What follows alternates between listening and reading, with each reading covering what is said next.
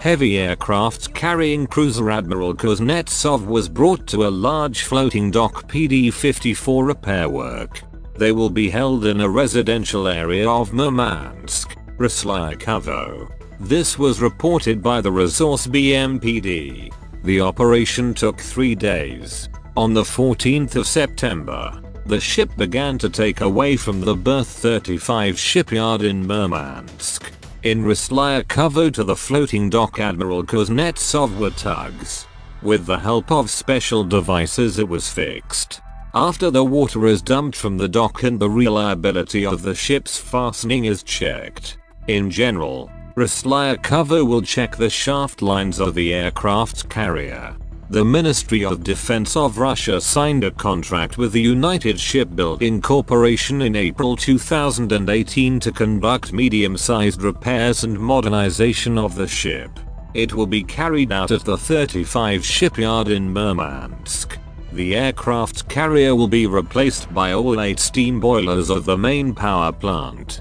There will be new equipment and weapons including the long-range anti-aircraft missile system Polyment-Redut. Before the modernization on the ship there were only air defense complexes Dagger and Dagger, as previously announced by the head of the United Shipbuilding Corporation, Alexei Rakhmanov. After modernization, the cruiser will serve another 20 years. It is expected that he will return to service in the middle of 2021. Admiral Kuznetsov is the only heavy aircraft carrying cruiser of the Russian Navy. Attached to the Northern Fleet. Crew 1980 people. On board can carry 50 aircraft and helicopters.